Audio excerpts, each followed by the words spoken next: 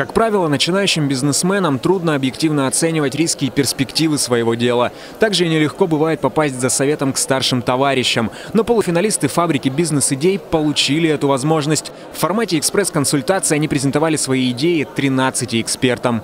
Приходят участники, горят глаза, у них э, много идей, очень интересных идей. Я сам человек уже тоже, который выносил и реализовал различные идеи, все равно нахожу что-то новое даже для себя и считаю, что у них очень много таких положительных моментов, которые я в свое время мог бы и не заметить.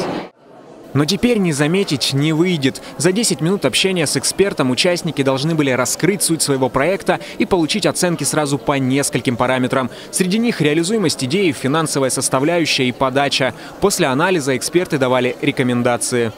Предложили поучаствовать на различных ярмарках, предложили свое участие, то есть где-то посоветовать нас, где-то дать какие-то советы, дать список блогеров, с которыми можно посотрудничать.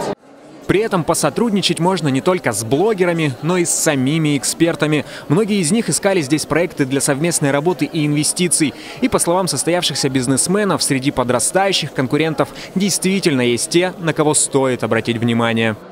Вот мы с парнем общались в последний, вот прям раз, у него разработка приложения по поиску, по-моему, сотрудников, как- как-то так она звучит. Очень классная идея в том плане, что мне вот как работодателю и как, рабо- как работнику и как работодателю, мне нужны иногда сотрудники на очень какую-то мелкую работу, но мне их где-то приходится искать в интернете, по знакомым. Тут я могла спокойно бы зайти в приложение, набрать, у меня есть такая-то такая работа, ребят, приходите.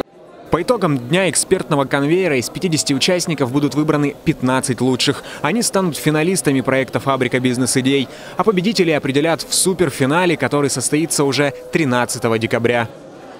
Артем Гусельников, Александр Антропов. День с толком.